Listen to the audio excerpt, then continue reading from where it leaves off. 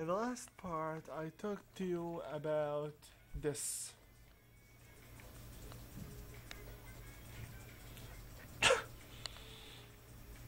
I heard Focus teacher Mr. Ekoda got into a lot of trouble. It must have been because of Mitsuru Senpai. Scary, huh? Beware of the power of the Kirijo. Now, Fuuka is right over here. Well, um, just stick with her a little bit. Whatever. Took to Mitsuru over here. Oh, Mr. Ekoda's punishment.